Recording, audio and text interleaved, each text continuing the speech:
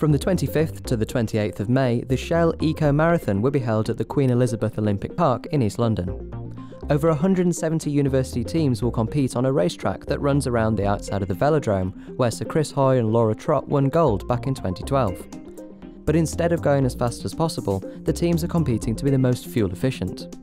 There are seven fuels to choose from, including petrol, diesel, electricity, and hydrogen, and teams can enter in either the urban concept category, where vehicles look similar to normal cars, or enter a ground hugging prototype designed to achieve the ultimate efficiency. The overall winners are expected to achieve an efficiency rating of over 10,000 miles per gallon as they sip fuel around the circuit.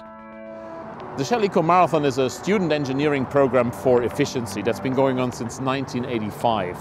And as such, we have been throwing out a challenge to the future engineers and scientists of the world to come up with the most energy efficient vehicle in the world. I think over time the um, competition has evolved from wooden cars that were mere soapboxes into high-tech machines of carbon fiber, of ceramic engines, of electric mobility and as of late hydrogen fuel cell vehicles driver skill takes a very, very important place in the overall success of a team. Teams can build the best and most efficient vehicle possible. If the driver cannot put it on the road, then it is all worth nothing. It is, after all, still a competition with a strong human influence, like driving on the road. Uh, this is our fourth year entering, um, and uh, the first year it started out of a living room of one of the UCL students. Uh, we've obviously come a, quite a far way from there.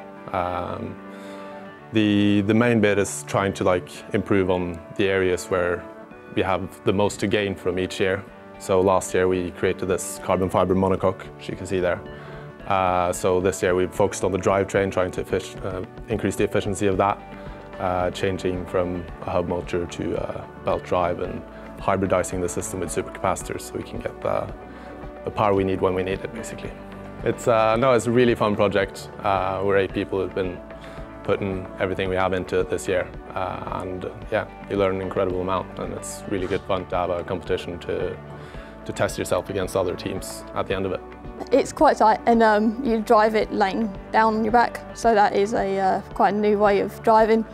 Uh, it's quite a way to get used to, but it's good fun. It's very good fun and when you're out on the track, being so close to the floor to make it more aerodynamic, you do feel like you're going a lot, lot quicker. So that is quite good fun, but it is quite, it can be quite cramped. This is our practical opportunity.